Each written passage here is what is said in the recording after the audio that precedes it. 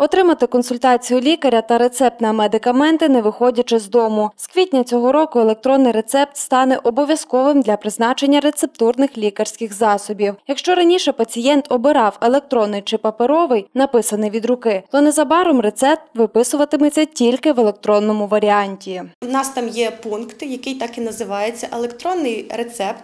Відкриває, знаходить запатентовану назву, тобто виключно за діючою речовиною. Вираховується дозування загальне, е, кількість на прийом і загальний курс, скільки це має тривати.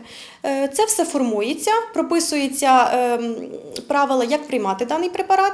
Ми підписуємо власним електронним ключем, і ем, на телефон е, пацієнта приходить смс з номером.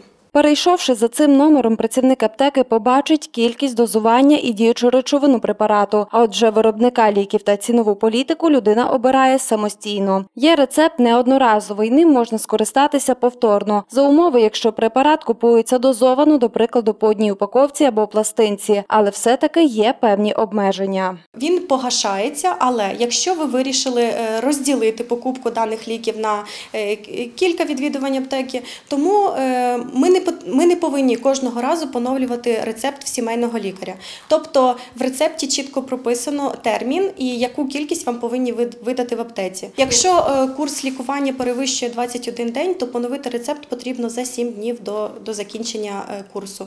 Якщо курс лікування менше ніж 21 день, то за 3 дні до закінчення е, лікування. Остаточний перехід на є-рецепт зумовлений тим, аби уникнути будь-яких махінацій з отримання препаратів іншою особою. Зокрема, часто цим користувалися для придбання препаратів суворої звітності, тобто наркотичних лікарських засобів і психотропів. Усі аптечні заклади змушені будуть відпускати лікарські засоби лише за рецептом лікаря електронним. Це дозволить нам, як медичним працівникам, здійснювати безпосередній контроль е, за прийомом лікарських засобів. Ви знаєте, що неконтрольований прийом лікарських засобів як загрожує безпосередньо життю пацієнта або невизначені дози, неправильне призначене лікування, як е, переважній більшості випадків може призвести до того, що захворювання перейде або в хронічну форму, або неправильно буде визначена доза препарату, що може погіршити стан здоров'я Але й паперовий рецепт нікуди не зникне. До прикладу, тим людям, які не мають мобільного або не вміють ним користуватися, здебільшого це пенсіонери. Номери електронного рецепта виписуватимуться лікарем вручну. Для зручності його можуть роздрукувати, аби пацієнт знав, як приймати ліки. А у разі відсутності інтернету або електроенергії виписуватимуть